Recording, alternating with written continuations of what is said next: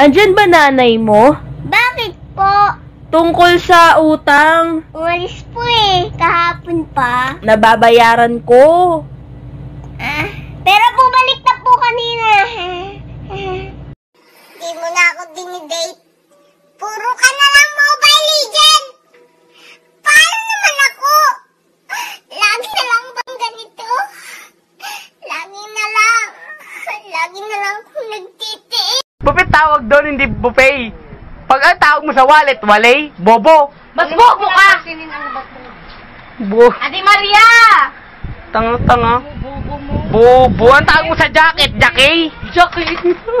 nagpositibo sa iligal na droga. Kabilang sa kanila, ang barke na si Leonard Marquez. Balak naman daw niyang magbago. Ang kaso, So, magbabago rin po ako, kaya lang hindi po po, po siya ngayon.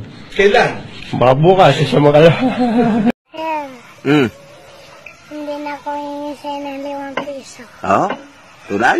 Ang, ang gwapo mo pa rin. Oh, very good. Yan ang gusto ko sa iyo. Ah, Pero, pero, pero, pero.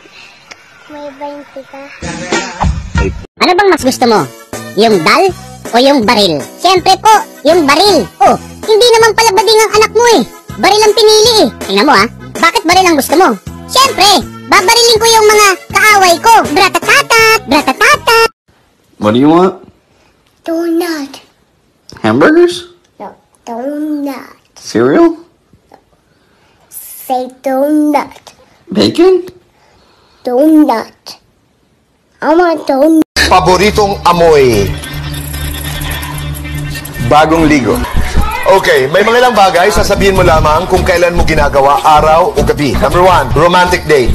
Gabi. Sex. Araw-gabi. na akong tanga dito. Huwag kang sumigaw. Huwag kang magsinungaling. Crush ko siya. Ano? Crush mo? Crush is just paghanga. Akala ko ba ako lang yung crush mo? Es rappelt im Karton. Es rappelt im Karton. Es rappelt im Karton.